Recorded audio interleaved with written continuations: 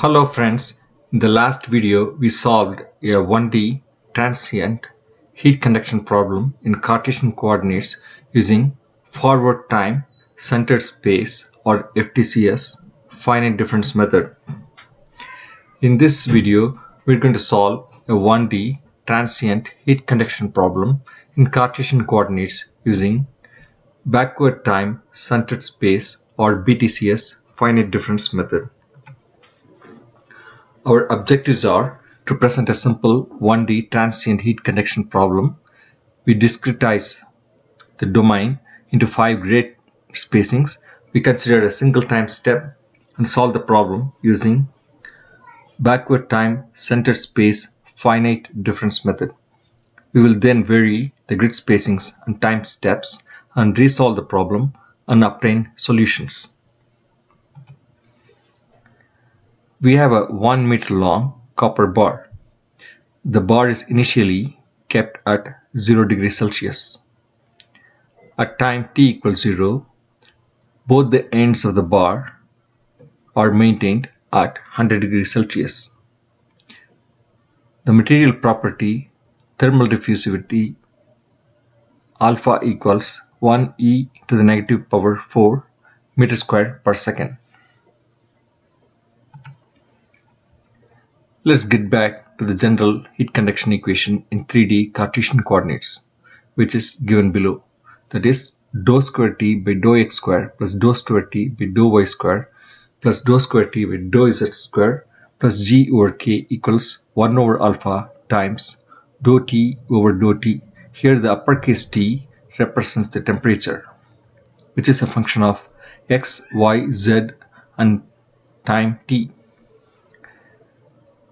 Alpha is the thermal diffusivity in, given in meter square per second. Alpha equals K over rho C, where K is the thermal conductivity of the material in watts per meter Kelvin, rho is the density of the material in kilograms per meter cube, C is the specific heat capacity of the material in joules per kilogram Kelvin.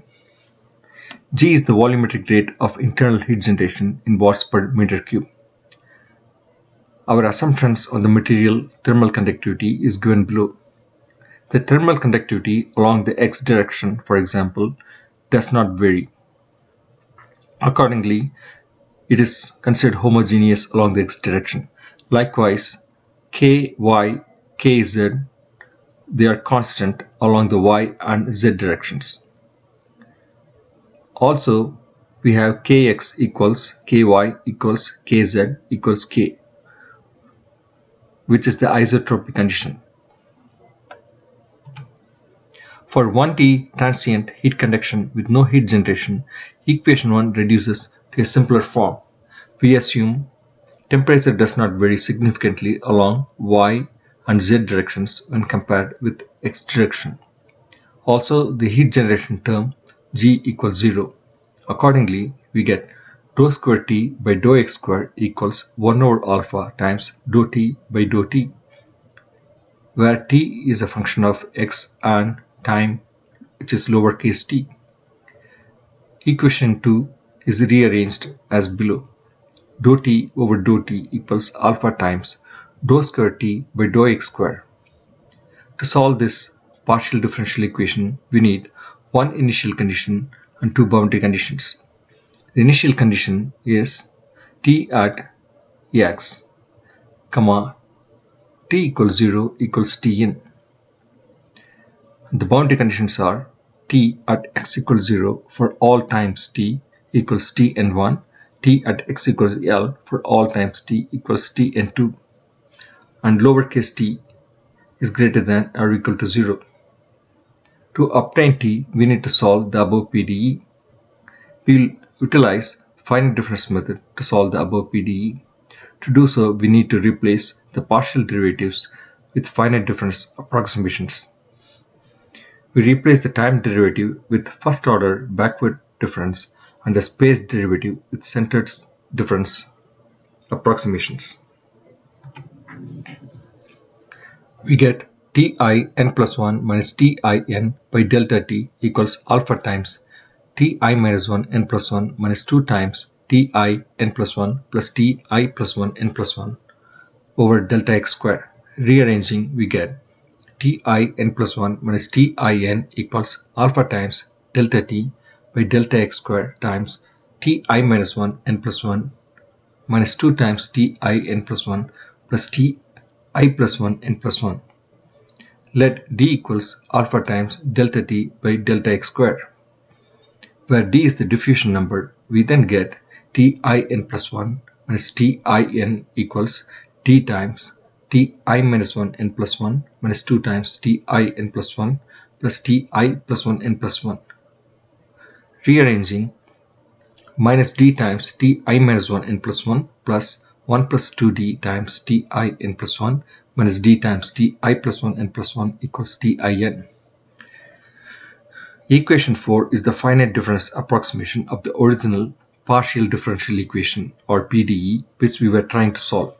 Here i represents the node location on the discretized domain and n represents the time step. The finite difference stencil is given below. We have temperatures known at Ti, n and we need to solve for temperatures at i minus 1, comma n plus 1, comma i comma n 1, comma and i plus 1, comma n plus 1. the above approximation is called backward time centered space or BTCS method. This is an implicit method, hence temperatures Ti's at present times n plus 1 need to be obtained based on Ti's at previous times, as shown in equation 4. The equations need to be solved simultaneously as we have unknown temperatures at neighboring points for the same time step. The advantage being implicit methods are unconditionally stable, but D the diffusion number still needs to be smaller for accuracy considerations and not stability considerations in general. The truncation error is order of delta t plus order of delta x square. Now let us discretize the 1D domain into say 5 segments or grid spacings equally spaced as shown below. Note temperatures at node 1 and node 6 are known. These are the boundary conditions. To apply equation 4, we need to consider the interior nodes 2 to 5. Let i equals 2 and n equals 0. Equation 4 becomes minus d times t1 1 plus 1 plus 2d times t2 1 minus d times t3 1 equals t2 0. Similarly, for i equals 3, 4, 5 and n equals 0, we get minus d times t21 plus 1 plus 2d times t31 minus d times t41 equals t30 and so on. Here tin, comma t6n are the boundary conditions for all times and ti0 is the initial condition for all interior nodes. Let delta t equals 100 seconds, delta x equals L over the segment length, say m, then this equals 1 over 5 equals 0.2 meters. Then d equals alpha times delta t by delta x squared which is equal to 1 times 10 to the power of negative 4 times 100 by 0.2 squared equals 0.25 which is lesser than equal to 0.5. Note in this method this, since it, this is an implicit method we don't need to meet the stability criteria. We still target D within 0.5 for accuracy considerations and not for stability considerations.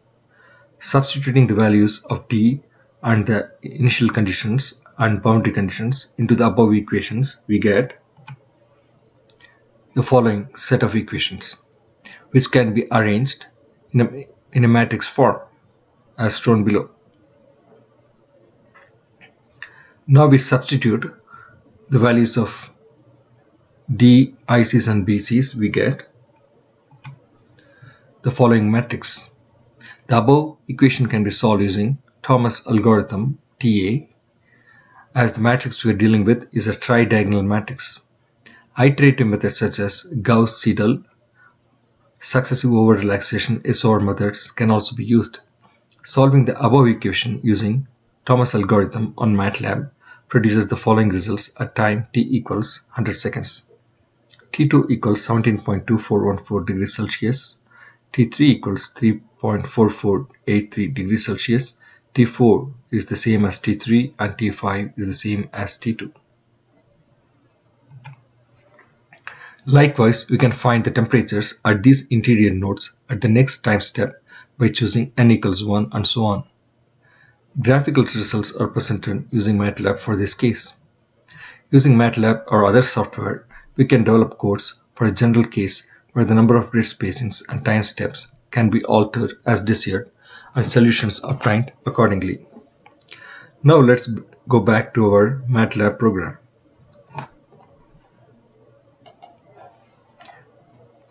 we have the total time t equals 100 seconds and the number of steps time steps is 1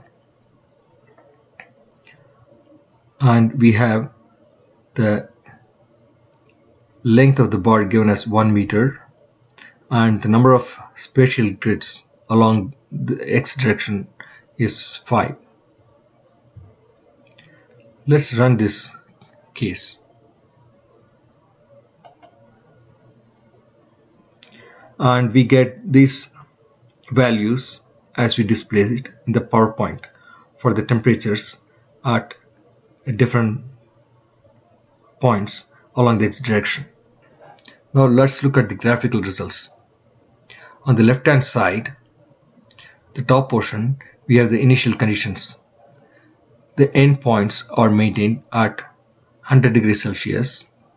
The initial temperatures at the interior points are kept at 0 degrees Celsius.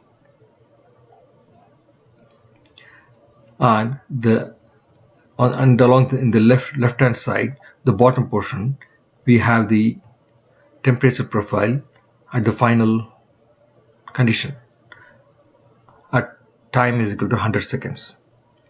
Here the boundary conditions are still met the endpoints are still at 100 degrees Celsius and the interior points the temperature are a little bit different from what was originally there.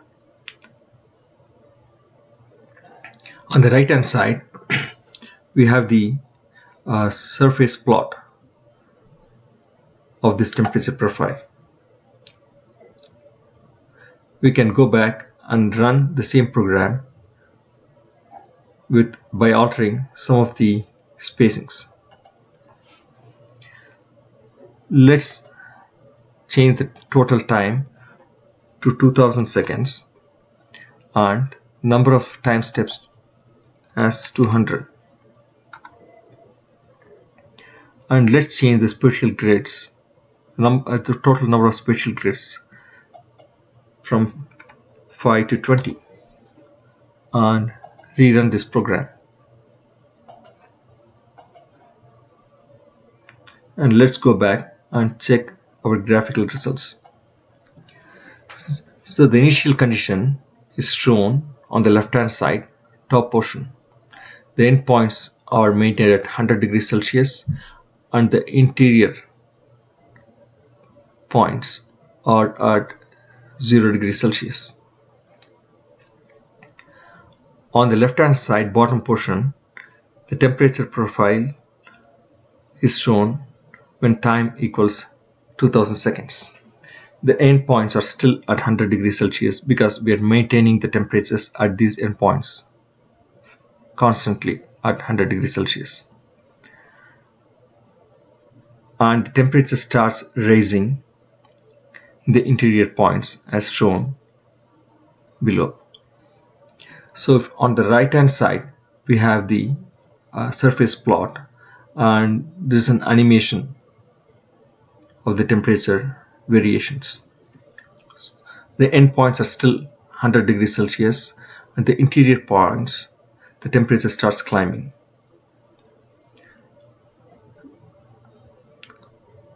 And the temperature scale is shown on the right hand side of this particular chart.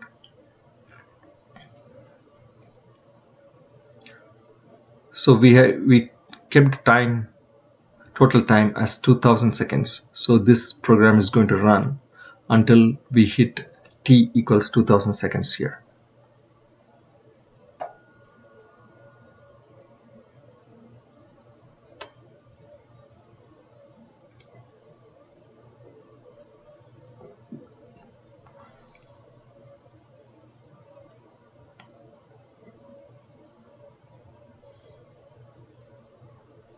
So the lowest temperature is around 83 Celsius somewhere there and the highest temperature is 100 degrees C at the ends.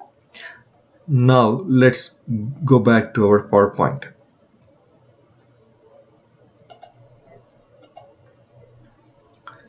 Let us summarize what we did in this particular video. We presented a 1D transient heat conduction problem. We discretized our domain and solved the problem using finite difference method. In this particular case, the method we chose is the backward time centered space method or the BTCS method. BTCS method is an implicit method and is unconditionally stable. But you still try to maintain the diffusion number D closer or lesser than 0.5 for accuracy considerations and not for stability considerations. We varied the grid spacings and time steps and presented the results graphically using MATLAB. In future videos, we can explore more challenging problems. If you have any comments or questions, please let us know. And thanks for watching.